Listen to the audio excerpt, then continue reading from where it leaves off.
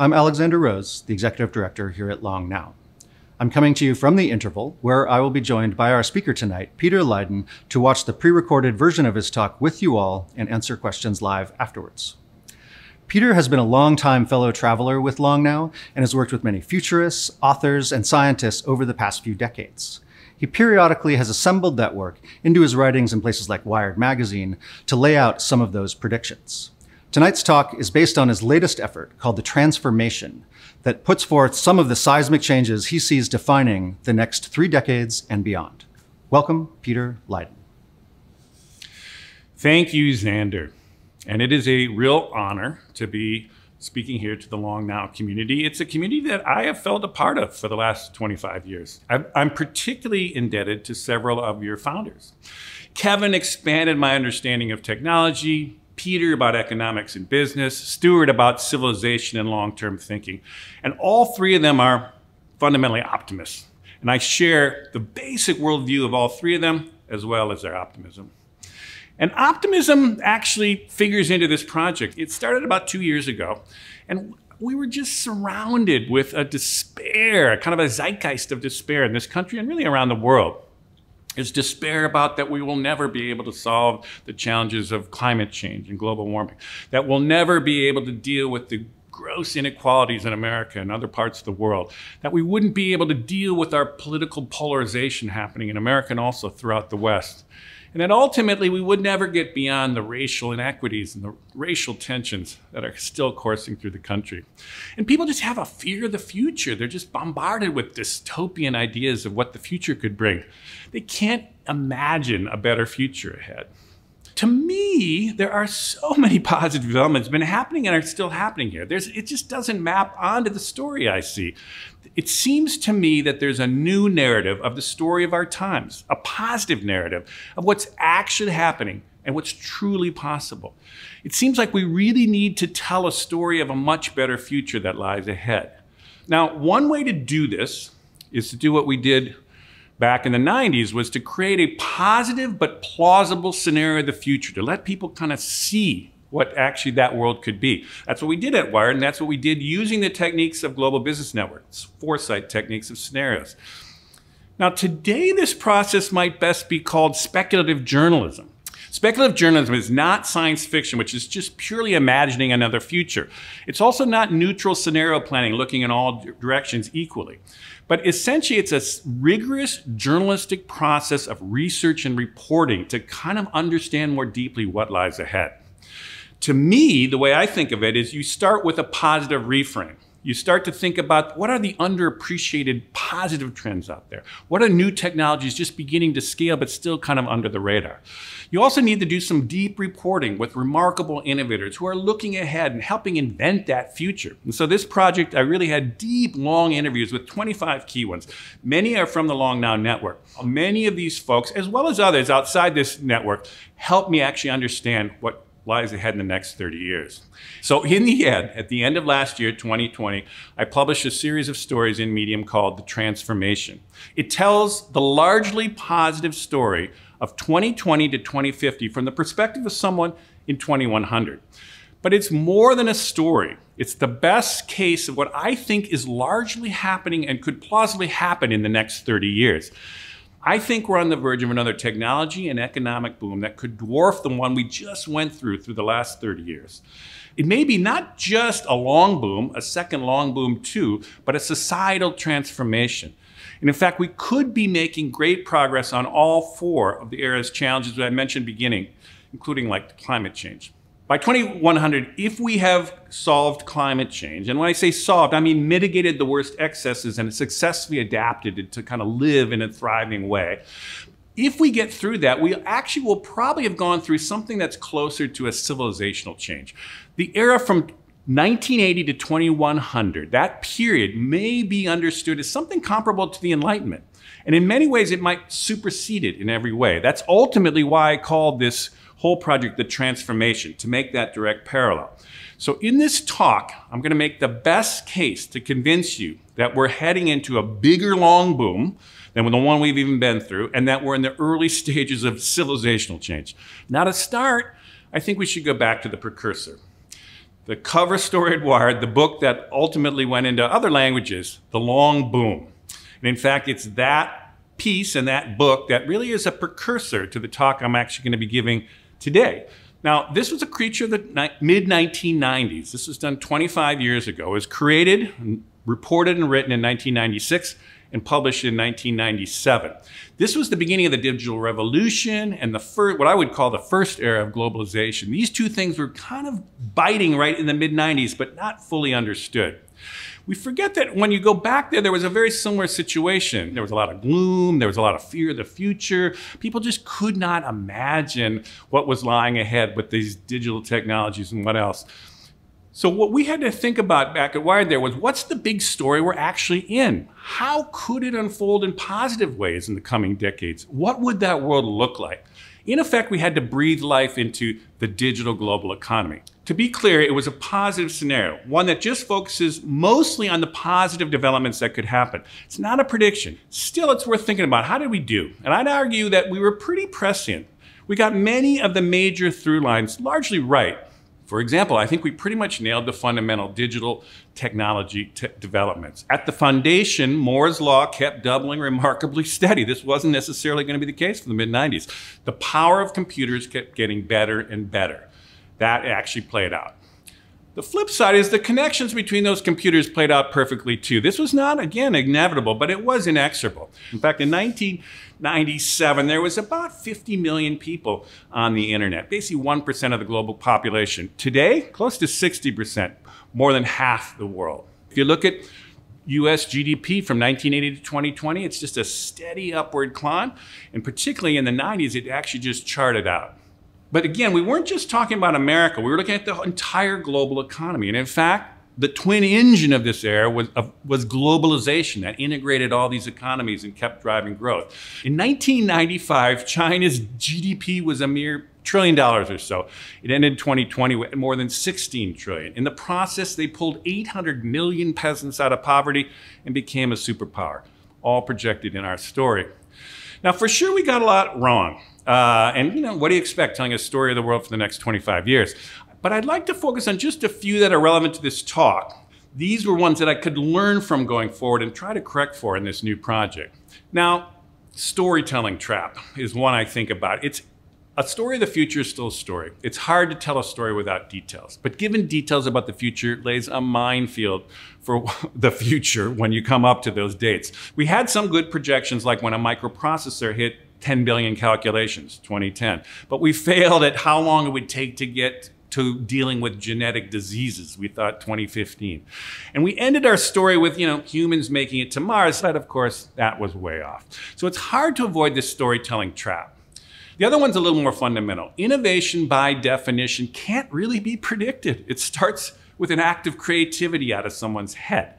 And so much of the digital global economy was driven by innovation. You know, how do you breathe life into that? A striking example of this is laid out in Brian Eno's 25th anniversary edition of his diaries from 1995, A Year with Swollen Appendices. He talked about all the words that did not exist 25 years ago.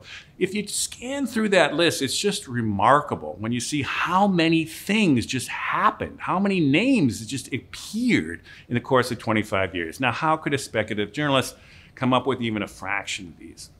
Another one has to do with issues that are rooted in politics. There were many times when politics just screwed up, basically. Screwed up the scenario, screwed up what could flow out. There were things that we did not think about, but kind of diverted huge attention and resources, like when the terrorists hit the World Trade Center and we went off to start not one war, but two. Or there's things that could have happened, but politics kind of got in the way. For example, George Bush defeating Al Gore by a few disputed votes in 2000. Now, we talked a lot about how climate change would get addressed more aggressively in our scenario. Would President Gore have done that? Presumably, probably more than the oil man George Bush. The lesson from all this is politics matter, which we'll get to in a minute here later. The final one I want to mention is Amara's Law, attributed to Stanford professor Roy Amara. His quote is We overestimate the impact of technology in the short term and underestimate the effect in the long run. This plays out in scenarios. We need to breathe deeply and slow down. Everything takes longer than you think.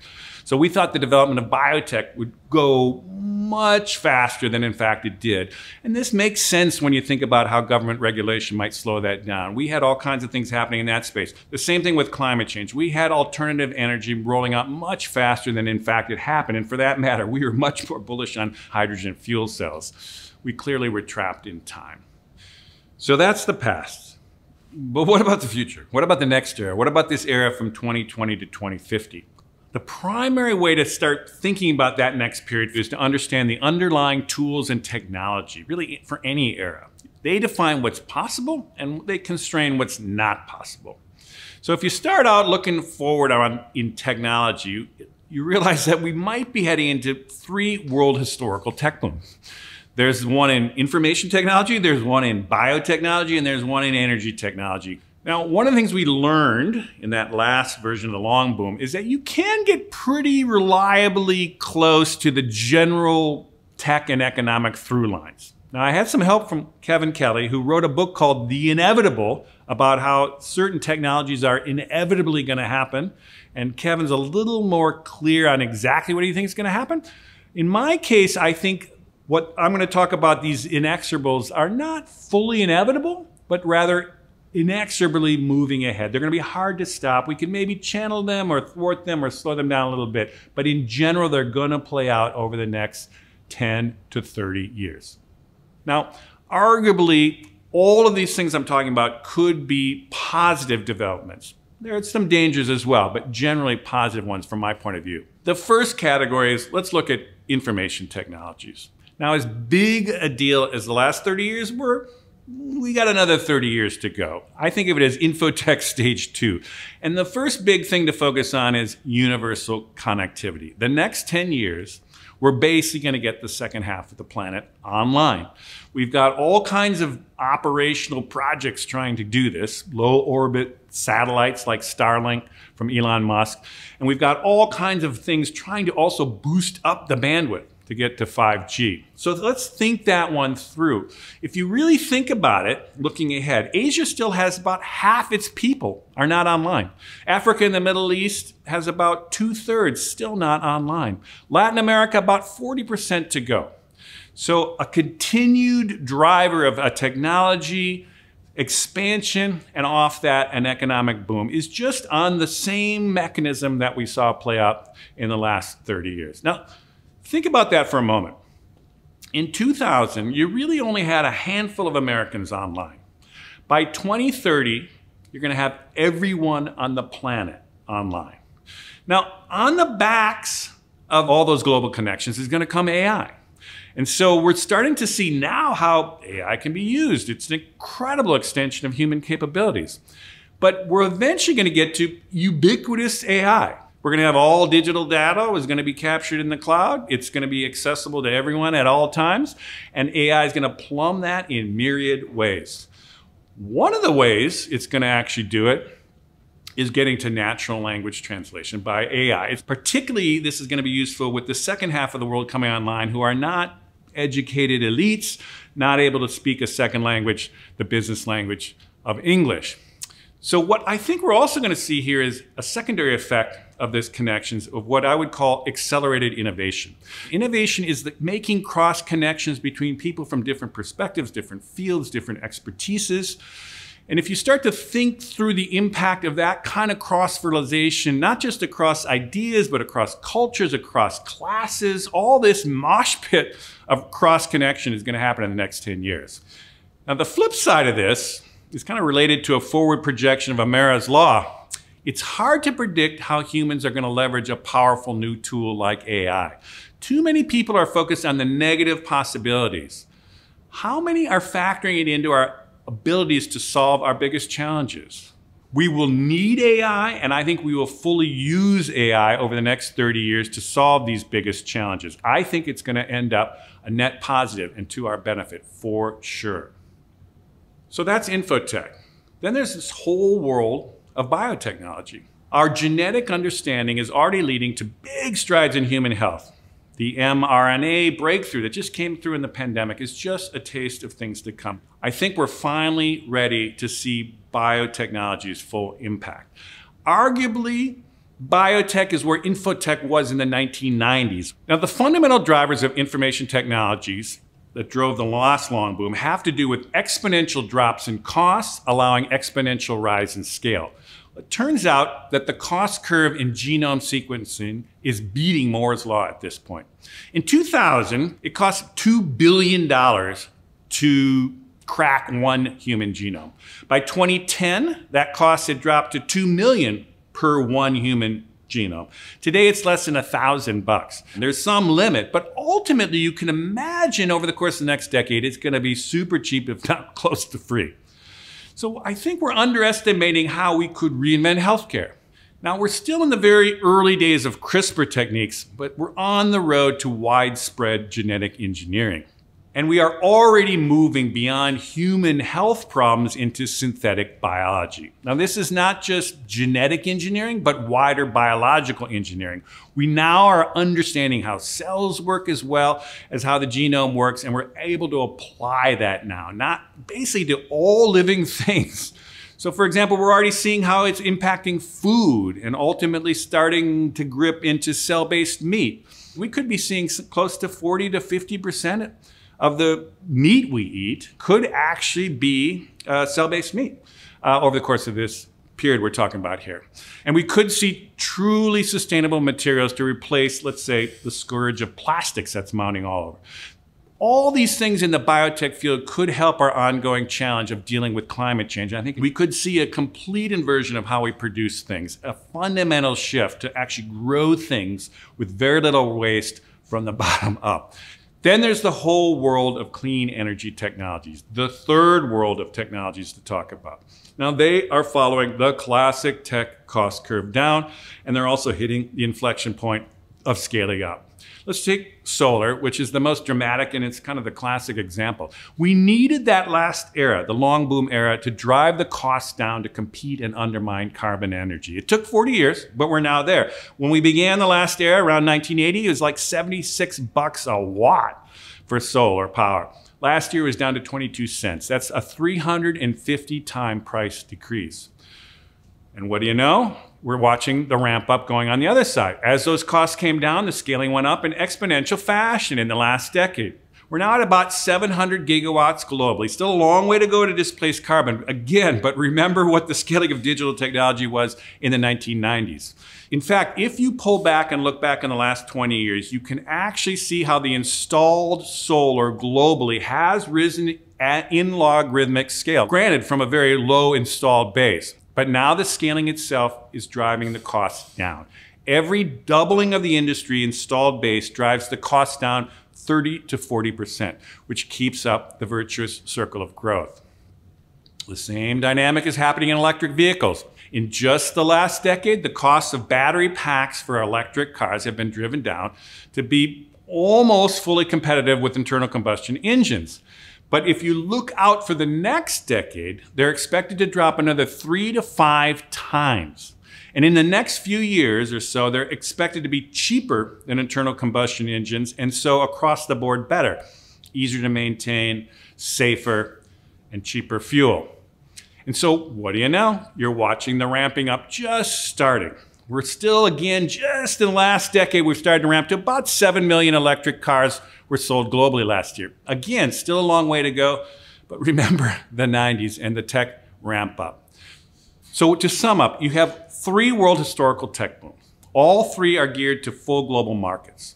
But to really solve these big challenges, we're going to need politics. Politics can and does screw things up, as we mentioned, but the flip side is that politics matters. Good politics can solve problems. That's not to say that politics is random. The basic pendulum swing between progressive and conservative eras, this back and forth that's played out over American history. But we watch how power shifts to more people based power in progressive eras and then back to more business power in conservative eras. How the core values move from a more collective sense in progressive eras to a more individualistic sense in conservative eras. We've watched this pendulum swing over time, back and forth. In fact, if you go back 80 years, Very similar situation to today. The 1930s, we had extreme political polarization and paralysis. We had mounting authoritarian nationalism. But that opened up a long run of a progressive era, really a 40 year boom. This was the textbook case. Strong government, build infrastructure, spread wealth. The Democrats dominated that era, but both parties worked within the context. For example, Nixon extended the Great Society as a Republican. But the end of that run in the late 70s, it was becoming outdated, out of ideas, out of energy. And so the pendulum swung again. And so then you watched essentially a conservative era open up. 1980 brought Ronald Reagan to the presidency in about a 40 year run of a conservative dominated time. The boomers dominated the politics. They're much more individualistic and turned out to be conservative. The Republicans dominated, but both parties worked within. Bill Clinton reformed welfare, for example. But again, by the end of this period, the last decade, it ended up outdated, out of ideas, and pretty much corrupt. So I would argue a strong case we're entering another progressive era. This is not wishful thinking, but it's built on the inexorables, this time demographic ones. These cycles are driven by deep demographic forces that build ascendant coalitions. The first is a generational shift. The dominant generations of an era largely drive the politics. Generations have personalities and value sets that pretty much hold through life. The GI generation coming off of FDR drove the last progressive era. The boomers coming off when Reagan ascended kind of drove the last 40 years. So, what about this one that's opening up? It's going to be driven by millennials. Now, these millennials have much less stake in the current society. They amassed very little wealth in the last run, and they are much more transformative in their thinking. Think Bernie Sanders. That's who is behind him. But if you then add the Generation Z, that's those people born from 1997 to 2012. This generation of Generation Z is very, very similar to the value set of the millennial generation. They seem to align very clearly in all the polling up to now, and it looks like a very little distinguishes between the two of them. We're going to see with those two generations a double barreled power that's going to push for more transformative change. At the same time, if you look how it plays out, the boomers are literally retiring in mass and dying off. By 2040, the youngest boomers, not oldest, are now age 75, and the oldest, they really are passed away. By 2040, the oldest millennials are just hitting their 50s and they're pretty much running everything. The generation behind Gen Z, who knows, might be budding conservatives. It's not just generations, there's other inexorables too. Growing numbers of people of color. Immigrants tend to have higher birth rates. So, in fact, America is clearly on track to be a majority minority population by the early 2040s. This is inexorable, it's happening. Then there's also the relentless migration to cities. The superstar cities on the coast have been the early ones to benefit from this, but all cities, even in the heartland, people are going to the cities. Today, only 20% of America is in rural areas. By 2030, it's projected to be only 10%. People in cities correlate to being more cosmopolitan and more progressive. Think about the politics. Final thing to mention is education. College grads now are more than a third of all Americans. Younger generations are more than 60% are in college or have been into college. Education strongly correlates to belief in science, facts, climate change. Now, how does this play out in politics. All these demographic inexorables hit California first. Remember, California was a red state. It invented modern conservatism. It was the home of Ronald Reagan and the tax reform. But also, California was the first to let go of that conservatism. Today, all statewide offices are run by Democrats. This is going to play out over America, and it's already happening, particularly in states most like California, like the southwestern United States. If you look at this 2004 map of President Bush, you can see that essentially a lot of red states. This was the high watermark for Republicans since Ronald Reagan. All those southwestern states are red. If you look at the last election, it just happened with Joe Biden and Kamala Harris, the southwestern states are all four of them are blue. Just in those 16 years, we went from zero electoral votes blue in 2004 in the Southwest to all 31 blue in 2020. We also went from only two Democratic senators in 2004 out of that region to all eight in 2020. And then if you look at that map, you see the state of Georgia. The heart of the old South went blue. Why? The same inexorables. Young people, immigrants, people of color, the urban area of expanding Atlanta, and the educated people in the suburbs. This is the Blue America thing going to the heart of Red America, too. So if you think through the politics of the 2020s, it's pretty much going to be a blue lock on the presidency and an increasing balance in the Senate. This is again counter to the way people think about this now, but it's, I think, inexorable. Remember, in this election, Texas was in play. It's probably going to flip blue in 2024. It has the same dynamic as all those southwestern states, including high rates of people of color and immigrants. North Carolina was in play. Even South Carolina was talked about in play this time. This is a pendulum swing, and it is only swinging one way. We are entering a new political era. One inexorable is going to be reinvigorated government. We're going to go for the general strong government tendency that's going to invest in infrastructure and the like. I think we're going to see a rebalanced economy to take on mounting inequality. Young people, people of color, much of the coalition of that blue America has been cut out of the wealth that was engorged in the last era. And they're very attracted to transformative policies like Bernie Sanders and even beyond. Watch for the traditional counterbalance to corporations. After kind of having a free reign with conservatives, you're going to watch a lot more kind of regulation, including in tech.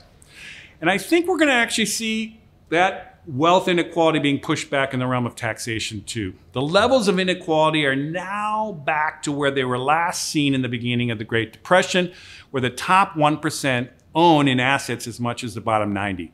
This was the same phenom that helped start the last progressive era with FDR.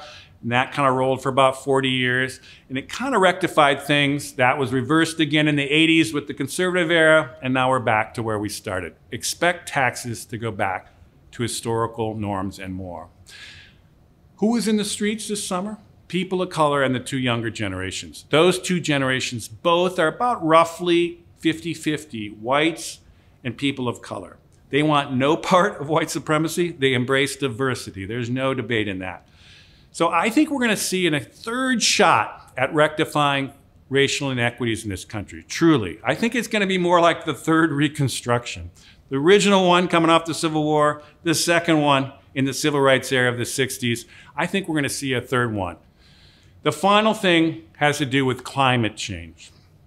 There's almost zero climate denial in those generations or in the coalition as a whole. So we're going to see government gear up and set high strategy goals and standards. We're also going to see business align with this given their workers and customers of these generations. Finally, we're going to see climate cooperation It's going to really make a difference. Now, if you're really trying to talk about solving climate change, then you got to think globally. We've been mostly talking about America, the liberal democracies of the West. We have to adjust the lens to the big picture global view as well.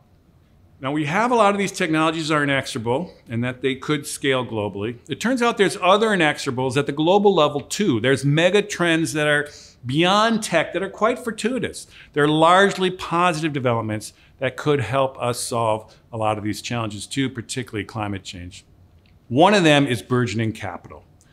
We have the technologies, but do we have the capital to transition our entire energy system, to transition the economy to sustainable everything? Well, it's about $100 trillion in capital markets sloshing around right now. It's all looking for productive investments, and it's actually not getting the kind of returns it wants. I think the supertanker of global finance is going to move this decade, and there's signs that it's happening much faster than people think. Another inexorable is Chinese superpowers. China has now, at the end of their 30 year run, become truly a global superpower, and we need them. China can actually move and act in ways that the liberal democracies, as of now, can't. We're still debating in America whether climate change is real, and China is just moving huge amounts of assets. Also, the Chinese model is much more relevant to the developing world. They pulled 800 million peasants out of poverty into cities in the last 30 years, and that's something that has to happen around the world which brings up total urbanization, another inexorable. In this last decade, the world tipped past 50% of the world now in cities. It's about 55% now, but it's heading to 80% by 2050. This is essentially a good tendency for the planet. It lowers the human footprint It brings many other positive developments like empowering women, which lowers the number of children and which essentially reduces population pressures. Another global inexorable is middle class majorities. Just in the last few years, the world crossed another milestone in which we have now 50% of the people on the planet are middle class. 3.6 billion people. Now, this is considered middle class in a global context. These are people who can afford maybe something like a refrigerator or a motorbike or have some mild security, unlike people who are really destitute or poor. Now, this is not what we think of in the West as the middle class. Those would be considered more almost rich people in a global context. Now, middle class majorities in a global context is a good thing. Middle class people spend almost everything they make back into the economy, driving economic growth. Middle class people tend to be a huge stabilizing force in society. They demand good government, they're trying to get good learning and education, things that are good for everybody in the long haul. By 2030, it's estimated that the world will add another 1.7 billion middle class people to their ranks. This again is global middle class people to their ranks. We're going to have well over 5 billion people who are considered in the global middle class going forward beyond that point. So, in summary, I think we can actually solve climate change. It's totally possible, it's plausible, it's even probable, I would argue. We can, when I say solve it, we can mitigate the worst that people are fearing. We can adapt to what's already in motion, already baked in, and we can create a life in which many, many people, the world can really thrive. A final point is that this is not just a story, not just some imaginative sci fi. This is a work of speculative journalism, reported and researched. It's a positive reframe of the actual story of our times. It's a new narrative of what's really going on and what could well happen. I think we're beginning another set of technology and economic long booms. I think this is going to give us the tools and the resources to help solve our biggest challenges. I think this may well lead to a social transformation and will be seen as the early stages of civilizational change. Now, the long now is one of the few places that can hear what I'm saying and totally track it. There's few places, few communities out there that think out 30 to 80 years. Very few talk about civilization. I think of the long now as a 21st century royal society. It's driving a global conversation that people need to hear, and it's a group that's maintaining optimism for the long haul.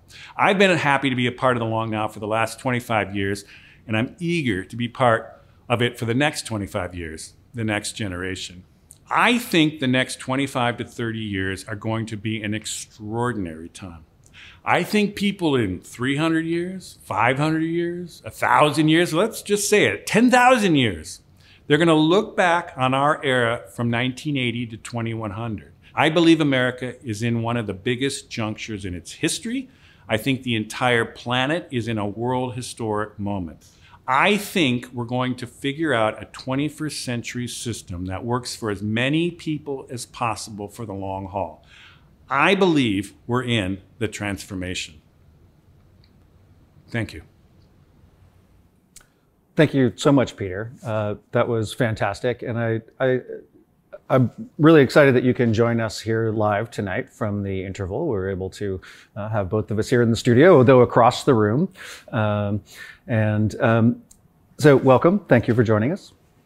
It's great to be here. It's actually interesting to watch yourself as opposed to actually forming it and coming off that talk. So, it's interesting to watch me uh, talk to you.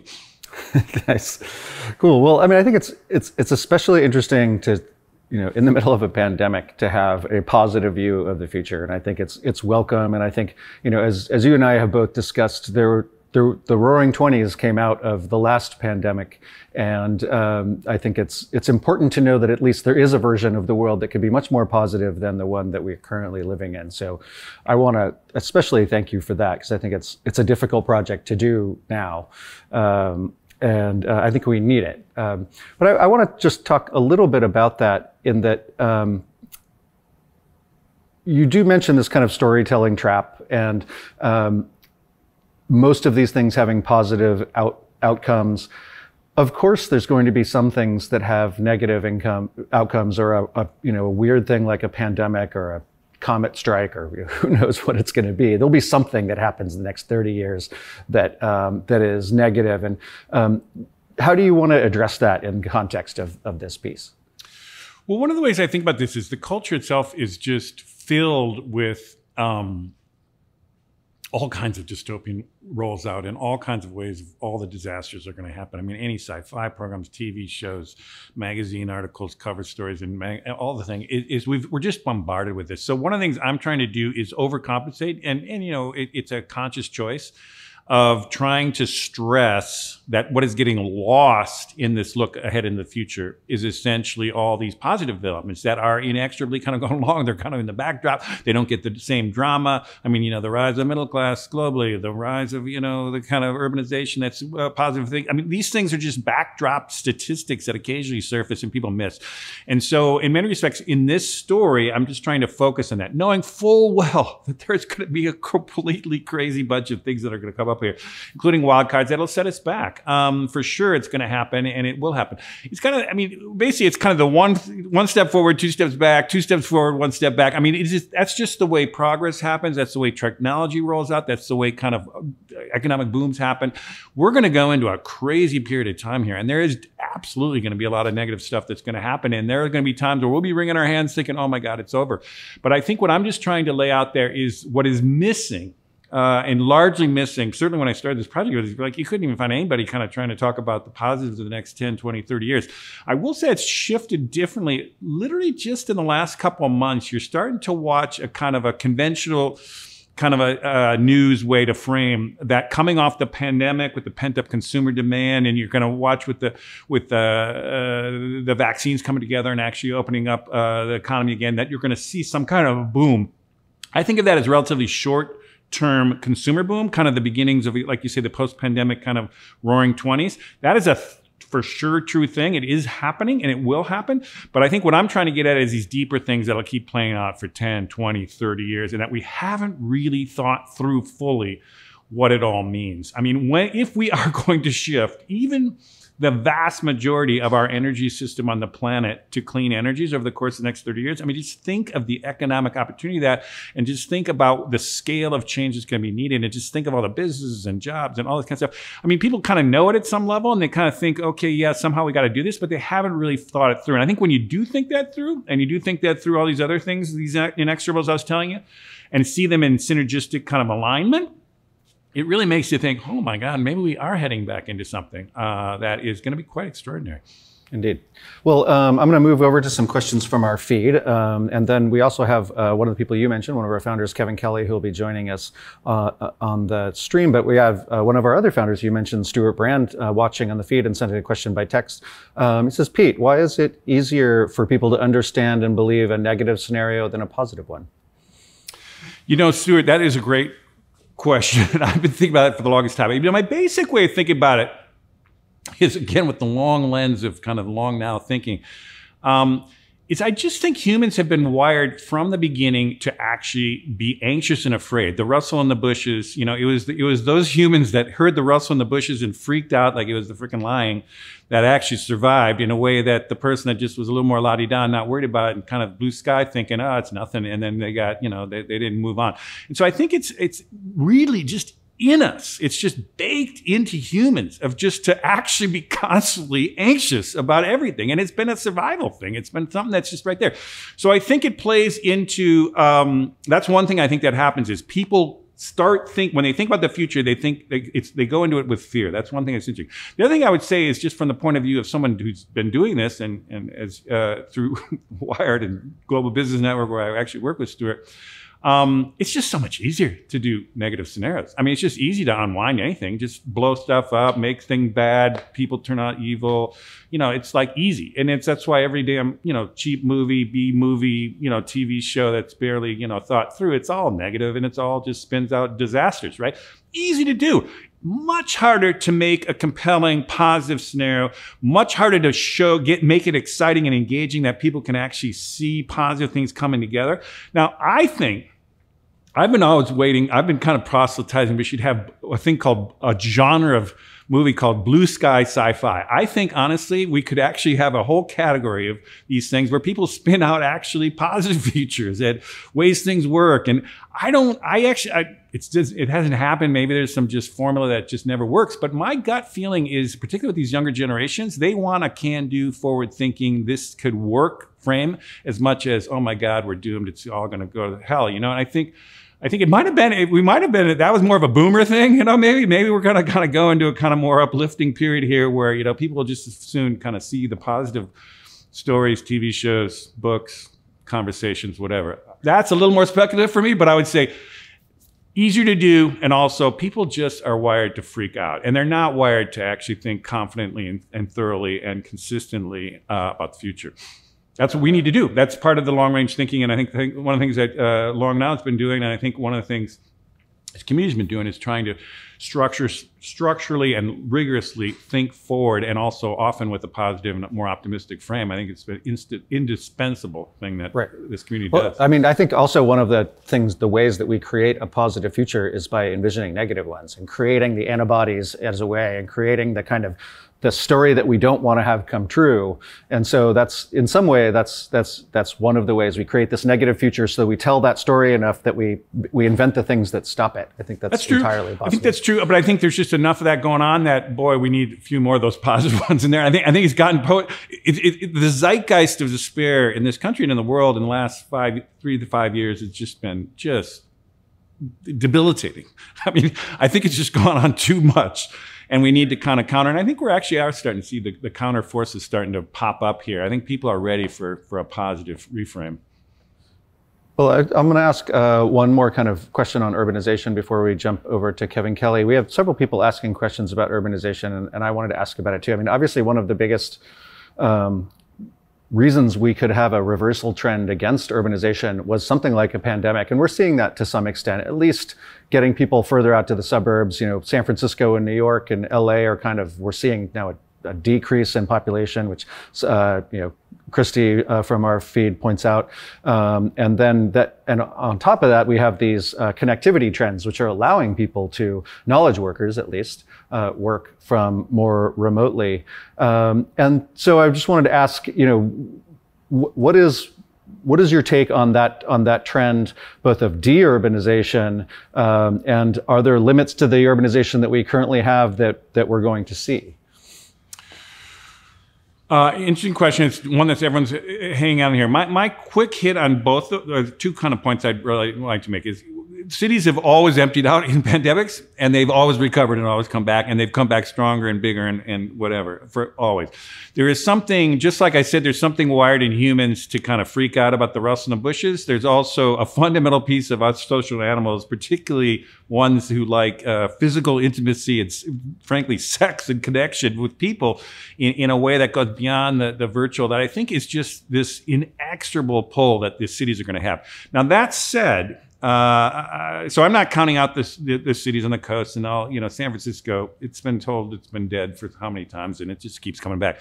But I do think what is interesting about this next phase is because of the uh, high bandwidth connectivity and because of the virtualization of so much, which by the way is going to get even more with virtual reality and all the stuff that's going to go even deeper immersion of virtualizing things. Uh, I do think we're going to see a, a, a revitalization of cities in the heartland, smaller cities all through the place. I mean, you're watching it right now. A lot of people, it, frankly, the superstar cities were just getting unlivable for, for everybody. I mean, no one could buy houses. And you couldn't move in, in, you know, traffic around here and stuff. I mean, in some ways, people are just in the Bay Area here where I'm in and where you are is like, finally, we can just drive around and finally we can actually do some things that has just been so hard to do. Right. Yeah. Now, talking with kids who are starting college uh, this year, uh, they are pretty ready to get out of their oh homes and dorm rooms and get back to a party for sure. Um, all right, so we're going to invite uh, one of our founders and one of the people you referenced in the talk, Kevin Kelly. Um, who worked with you a little bit on this piece as you were developing oh, I, it. So I will say, Kevin. Kevin, I've had many conversations with Kevin, and he has been very instrumental in helping in this project and helping influence my thinking over the last 25 years. Absolutely. Thank you, Kevin. So glad to be here. You did a great talk, Pete. I was inspired. I want to be part of that future. Please, let's make it happen. I'm down for. I'm down with it. Let's do it.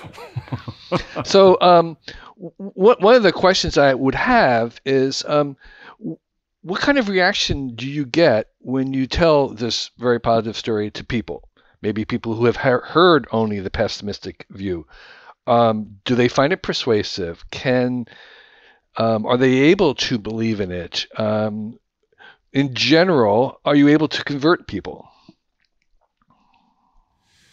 Um, that's an interesting question. I, I would say people are are wired. What's wrong? The wrong word. Wired. People. Their knee jerk reaction to it is, "Oh, that's po- too positive. You you can't be too positive." It, it's that's just not how the world works. It's it's not workable. Uh, it's it's dead end. It's not a non-starter. I mean, that's honestly, and there's a lot of super smart people.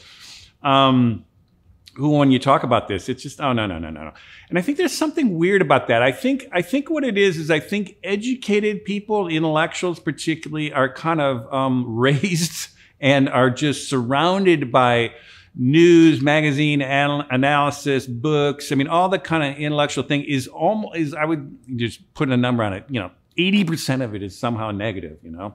And there's a lot of people kind of wringing their hands about the negativity of news and stuff. But when you're kind of in an, an environment like that constantly and just, it's just seeped into your pores, it's just the way you think about everything.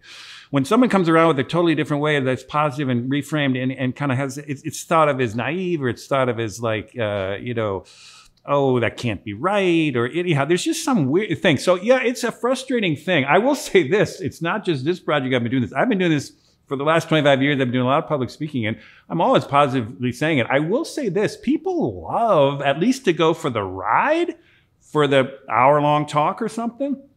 They actually like to do it because it's so rare to do it. And they're kind of like, wow, wouldn't that be cool? There's a lot of them that actually do that. And so, um, I don't think it's a lost cause to push that rock up the hill, but I do think, because uh, I think people are open to it. And when they see it, they have a thrill for it, but then they pretty much settle back into their negative space. So I think it's more like maybe building a movement or building a, a body, a consistent media landscape that has more of this. I don't know. It needs it needs more voices. It needs more energy. It needs more ideas. That this, and I know you've been thinking about this too um, with your Protopia thing. I mean, I think people need to things to hang on to. They need to grab it. They need stuff. And that's really what this project was, was just let's get something in writing, which is where in Medium, by the way, anyone can watch this, uh, The Transformation. It's a series of six stories in there. Um, this talk will be one and other venues and I'm going to kind of keep pushing this because we just need to keep banging the drum that, uh, you got to stay open to this and really not only open to it, but really engage it seriously and think, uh, why not? I mean, why isn't why isn't this why isn't the narrative right now that we're on the cusp of an amazing era of reinvention of America, amazing era of scaling up like, to solve global problems, to kind of harness AI and take advantage of biological engineering. And why isn't there this kind of totally, you could amaze, you could imagine a narrative of that. It's based on the tools, the reality. You can, there's people doing it in a million different directions, but that's not the narrative. The narrative is this, everything's screwed up. Everything's going to go wrong. Everything's going to, you know, AI is going to overrule us. Biotech is going to, you know, we're all going to be, you know, mutants. And anyhow, it, you know, the whole story. It's, it's, it's a, it worries me, but it's something I'm doing my best to counter It's best I can. So, so um, your your vision, your story has a little bit of a very global kind of tech view. The politics are very U.S. focused. I increasingly have come to believe that uh, more and more the future is going to be decided by non-Americans, the young non-Americans of the world that you kind of hint at. And um, uh, do you have a sense of of their politics. Um, and wouldn't that be a better audience for this talk? Is the young of China and India, because in a certain sense, those are the people who are going to be making our future. Good point. I know that's something that you've always championed. And, and one of the exciting things about the connectivity that's to come, and this, again, kind of uh, interconnection through language and, and uh, understanding is going to come with that potential to do that. I mean, you know, right now it's hard to figure out a way to actually communicate and, and really get your eyes, uh, your, your ideas out that way. So anyhow, it is something that I, um, I know that's maybe not the best way to answer your question, but I do think, uh, to the extent we're going to be able to kind of proselytize and spread the word, I think, I think what it is, is for those of us in the West here is to actually, uh, help energize and help empower essentially the folks that I do think will build the future. I'm a little worried about the China, the Chinese way. I do think there's still two systems existing right now. And although the liberal democracy world is kind of decadent and not working very well, I'm a little concerned about a kind of more mm, authoritarian kind of Chinese version and to what extent that's uh, I, I, think of it that they're comparable. There's trade-offs with both, and I think that's why I see them as allies in the solving climate change thing. But I don't know if um, I don't know which is better in the long run, and I'm so I'm still not kind of going that as far as that. So, so uh, maybe my last question is, um, uh, I, am with you that we don't really need to um, drum up more dystopians and negative scenarios because there's machines that do that already very well. But I am interested is is um, if you had a magic wand that could remove one hurdle, the biggest hurdle you see for this vision coming true, what would that one hurdle that you would like to see be removed? What what, what is the sort of the biggest headwind against this um, hap- happening? Wow, that is an interesting one. Um, from the global yeah, point of view, or from the no, American from the global point of point view? Of view? Um,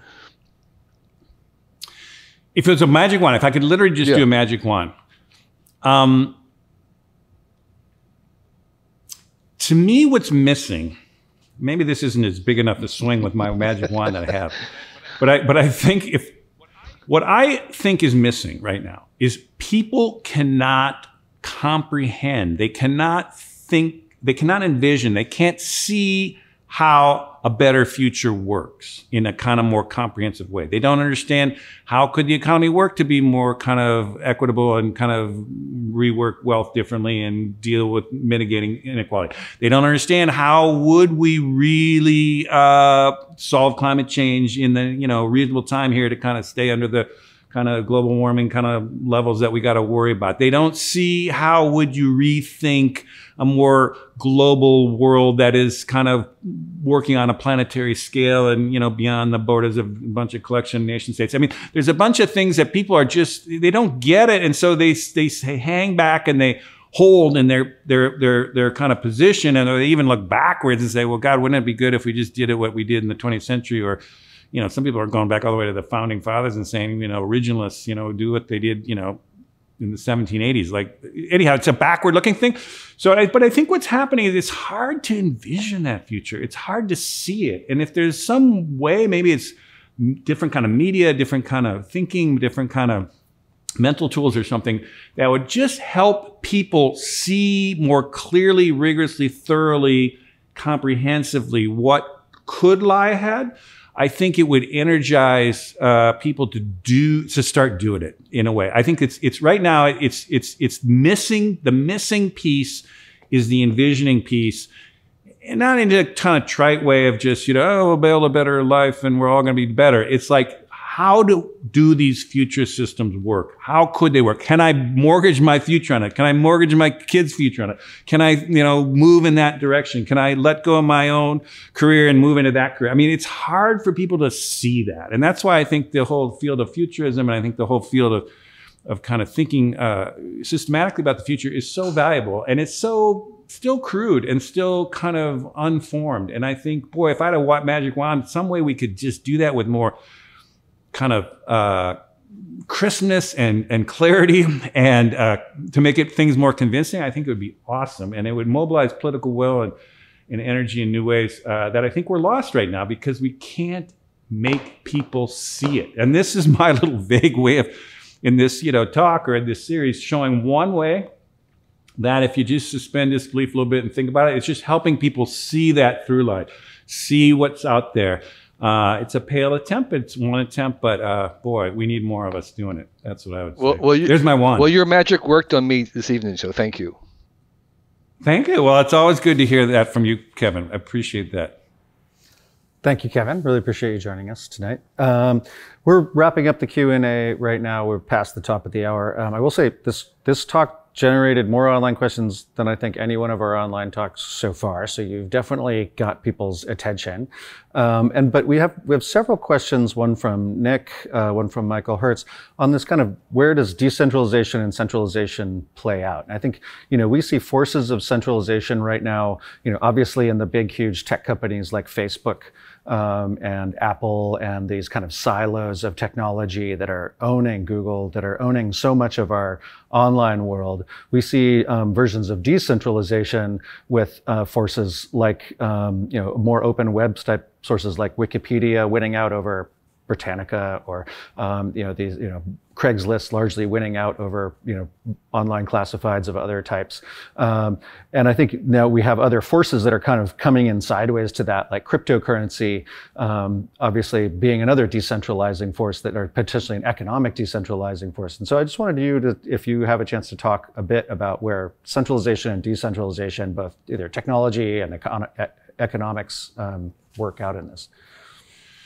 Yeah, good, good question. Um, and uh, for those who asked it, and, and yourself too asked it, here, here's the way I'm thinking about it: is um, in the relative short term, I think the forces of decentralization are actually going to be where the energy is going to go.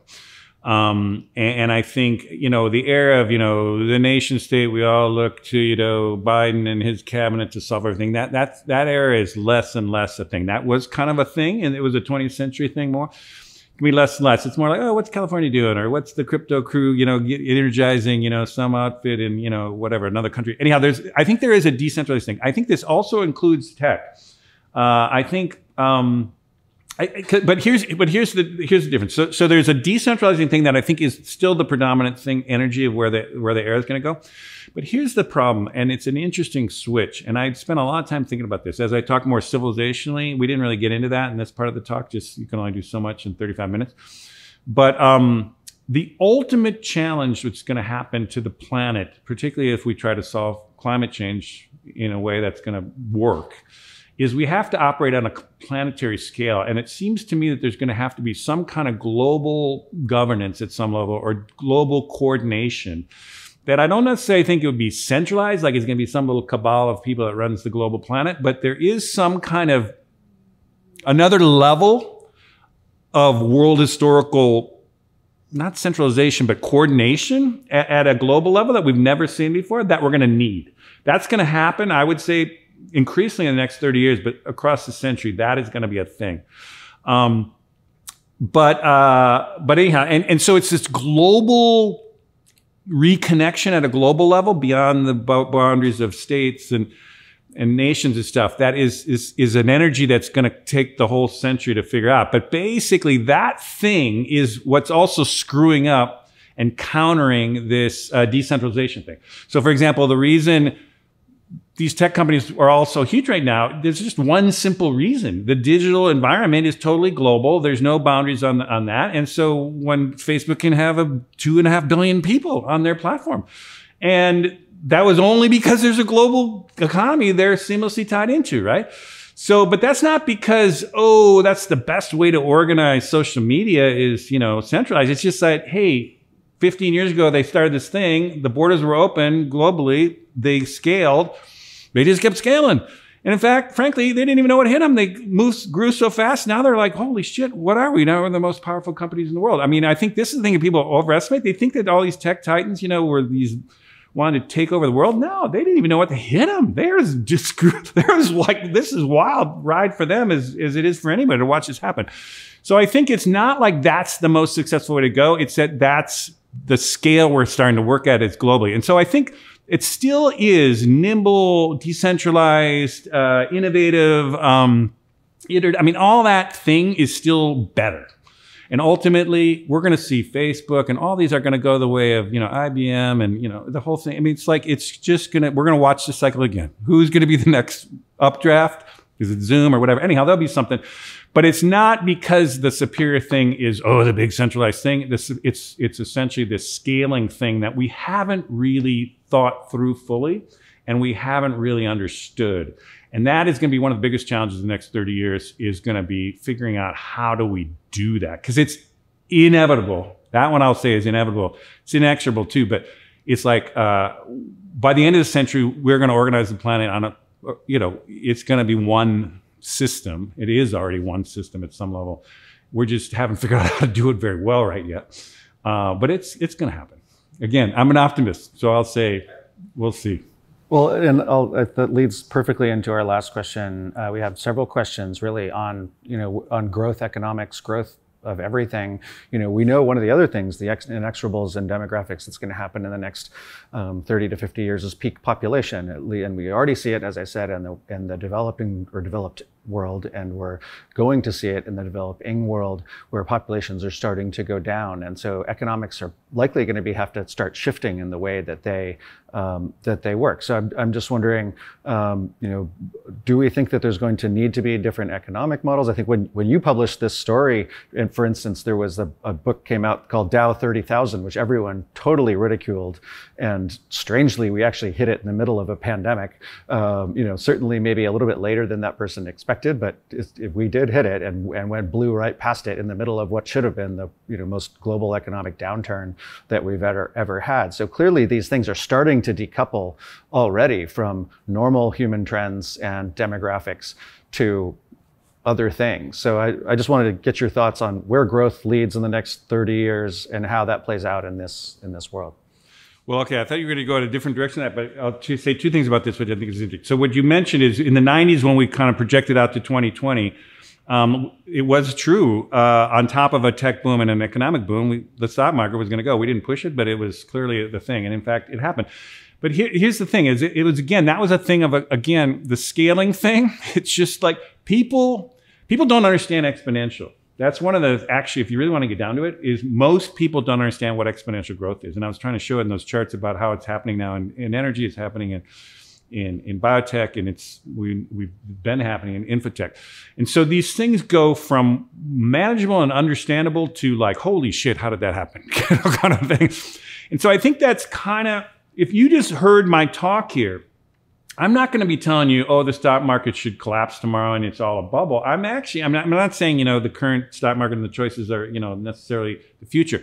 But I would say there is going to be an insane amount of wealth to be made in the future here. And I think we're going to watch that happen. Now, the critical piece of this, which is I thought was what you're going to go to, is it cannot happen on the old technologies and the old carbon energies. If that happens, we're screwed. I mean, we're totally doomed, honestly. But I think this is the beauty of what the moment we're in here is we can actually grow the entire global economy on clean energy, sustainable everything. The way I say this is like, you know, synthetic biology, packaging will be, you know, grown rather than kind of plastic and petrochemicals. Anyhow, all that kind of stuff. There is, we know how to do this now. Now, we don't know how to do everything about it, but we're, we're, we're past the tipping point of understanding that. One last little thing I'll say about this, which, which I, um, which is a good way to think about this, which is we are so lucky that the pandemic hit in 2020 rather than just 20 years ago in 2000. If we would have hit 20 years ago in 2000, the same pandemic, there would have been about mm, 25 million, 50 million Americans online and nobody else. You wouldn't have these open channel video things all over the world. You wouldn't have scientists coordinating all, all over the planet. You wouldn't have kids being able to go to school and video. Everybody work from home. That gone 20 years ago. That's all it would take. Second thing is we wouldn't even have cracked the first human genome. We didn't even know how to do a genome. And uh, now we're following the, the, you know, the virus as it's mutating by the day, and it's like everybody can do it and they share it instantaneously. That couldn't happen. Uh, and the same thing was uh, we crashed the global economy, we paused the global economy, and all the oil industry crashed, and you know everything crashed. If this would have been 20 years ago, there's no way we could have scaled back up on clean energy like solar or wind or any of that. It was so immature, it wasn't there. So anyhow, the point is, we're lucky it's today. The triple whammy happened today. We're lucky because we could actually do all that amazing. Think what's going to happen in another 10, 20, 30 years. We're going to be increasingly lucky that, oh, we could solve the global climate crisis of 2040 because holy shit, we've, we, everybody has AI enabled everything, and you know we got sensors all over the planet. Blah blah blah. Anyhow, there's a bunch of ways that happen. So I just think it's a, we we need to keep thinking. Um, how this is possible, uh, and we're un- we got to keep our minds open, our imaginations open, what could happen in the next 10, 20, 30 years as this happens. And I think I think we're past the point where we we now can actually grow the global economy robustly and still not blow out the planet and do it on a sustainable kind of everything plan. And uh, you know, it's not going to be perfect. It's going to be one step forward, two steps back, kind of thing, as we mentioned. But over time, if we have this conversation in 2050 uh, most of this will largely have played out. This is what I'm trying to say. Nice. Well, we it, want to extend the invite for you to come back in February of 2050 um, to report back on the things that that came out as as planned and the big surprises that uh, that hit us over the. I will last, do it, and as years. long as the interval's open and you can actually get a drink rather than kind of. Uh, been sitting in a pandemic like this. But yes, by that time we won't have to worry about pandemics. Yes, I will do that. Looking forward to it. I'm also looking forward to being part of this community in the next uh, 25 years here, uh, 30 years to it. And uh, thanks for having me here. Indeed. Well, we'll step outside and have a have a rare interval drink uh, outside uh, shortly after this talk. So thank you so much for joining us. I really appreciate it. Appreciate it. Thank you. And I want to thank you, our Long Now audience, for sticking with us during this pandemic and during these pre-recorded talks. Um, we'll have more coming up in the future, and thank you so much.